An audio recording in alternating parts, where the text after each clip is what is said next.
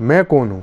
अध्यात्म का अर्थ है खुद के बारे में सब कुछ जान लेने की चाह। ऐसा क्या है जो हमें खुद को जानने के लिए प्रेरित कर सकता है?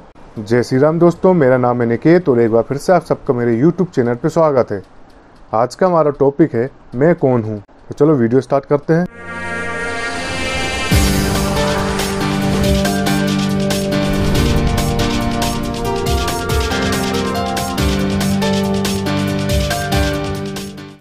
ये पहली और सबसे ज़रूरी चीज़ है जो आपको अपनी ज़िंदगी में करनी चाहिए। सबसे पहले ये जानना चाहिए कि मैं कौन हूँ? मेरे अस्तित्व की प्रकृति क्या है? उदाहरण के लिए, काउंटर संभाल रही महिला बोली, सर, यहाँ एक लाइन है, कृपया लाइन में खड़े हो जाएँ। वो बोला, नहीं नहीं, मैं जल्दी में हूँ, मुझे जाना है। वो बोली, नहीं, कृपया लाइन में खड़े हो जाएँ। फिर वो बोला, क्या तुम जानती हो मैं कौन हूँ? महिला ने एकदम से माइक उठा लिया और बोली, यहाँ एक आदमी है जो ये नहीं जानता कि वो कौन है। क्या कोई उसकी मदद कर सकता है? नहीं, उसकी कोई भी मदद नहीं कर सकता, क्योंकि हर कोई उसी स्थिति में है। हर कोई खुद का असल स्वरूप जाने बिना यहाँ जी रहा है।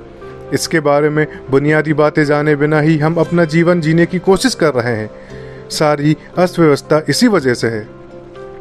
मैं कौन हूँ? ये प्रश्न आपके जीवन का सबसे गुड़ प्रश्न है। अगर आप ये नहीं जानते कि आप कौन हैं तो क्या आप कोई भी अन्य चीज़ निश्चित तौर पर जानते हैं? अगर आप इतना भी नहीं जानते कि आप कौन है तो क्या आप किसी अन्य को या किसी अन्य चीज़ को जानने में सक्षम हो पाएँगे? अगर आप नहीं जानते कि आप कौन है तो सब कुछ एक बड़े मज़ाक की तरह हो जाता है। तब एकमात्र संतावना ये होती है कि हर कोई आपके साथ है। मैं कौन हूँ? ये प्रश्न आपके मन और शरीर में चीख रहा है। अगर आप अपने अस्तित्व की प्रकृति नहीं जानते तो आप संयोग से अपना जीवन जिएँगे। सब कुछ संयोगवश और धारणा और राय के आधार पर होगा। इसमें सत्य नहीं होगा।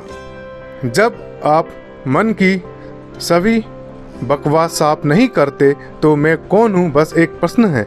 अगर आप सभी बकवास साफ़ कर दें तो आप देखेंगे कि मैं कौन हूँ? ही सब कुछ है और कुछ भी नहीं है। ये सबसे बड़ी चीज़ है। ये प्रश्न मैं कौन हूँ? कोई प्रयोग या जिज्ञासा मात्र नहीं है। ये ऐसी चीज़ है जो आपको चीरने लगती है। जब तक ये आपको चीड़ के दो टुकड़े ना कर दे, तब तक आप ये नहीं जान पाएँगे कि अंदर कौन है। मैं कौन हूँ जो स्वयं से इस प्रश्न को नहीं पूछता है? उसके लिए ज्ञान के द्वार बंद ही रह जाते हैं। उस द्वार को खोलने की कुंजी यही है।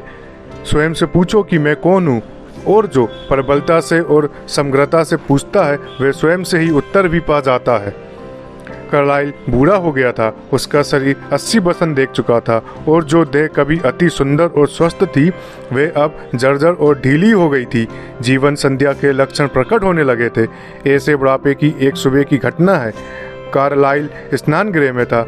स्नान के बाद वह जैसे ही शरीर को पोछने लगा, उसने अचानक देखा कि वह देह तो कब की जा चुकी है, जिसे कि वे अपनी मान बैठा था। शरीर तो बिल्कुल ही बदल गया है। वह काया अब कहाँ है, जिसे उसने प्रेम किया था, जिस पर उसने गौरव किया था?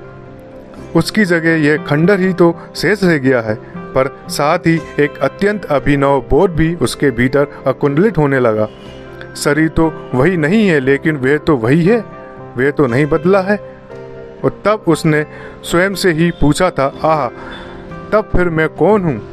यही प्रश्न प्रत्येक को अप अपने से पूछना होता है। यही असली प्रश्न है। प्रश्नों का प्रश्न यही है, जो इसे नहीं पूछते, वे कुछ भी नहीं पूछते हैं, और जो पूछते ही नहीं है, वे उत्तर कैसे पा सकेंगे? पूछो, अपने अंतरतम की गहराइयों में इस प्रश्न को गूंजने दो, मैं कौन हूँ?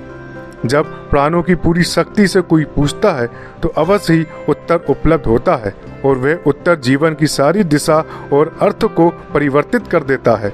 उसके पूर्व मनुष्य अंधा है उसके बाद ही वे आँखों को पाता है। तो दोस्तों, ये थी मेरी आज की वीडियो। आगे और भी दिलचस्प वीडियो पाने के लिए प्लीज़ मेरे चैनल को सब्सक्राइब करें और कमेंट करना ना भूलें। अब आज्ञा दें। जय श्री राम।